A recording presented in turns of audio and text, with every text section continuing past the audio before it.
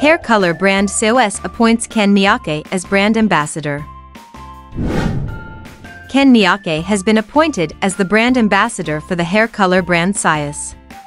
The TV commercial Straight Talk for SIOS Kano color treatment in which he appears will be broadcast from March 18th. Regarding the reason for appointing Miyake, the company said, his attitude of always taking on new challenges coincides with the direction in which SIOS is heading toward a new stage.